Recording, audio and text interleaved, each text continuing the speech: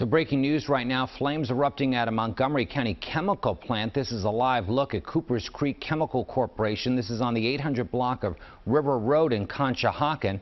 Hazmat crews are responding to the three-alarm blaze, but so far there's no word on exactly what is burning or if there's any immediate danger to the public. You can see a lot of dark smoke there coming from the facility.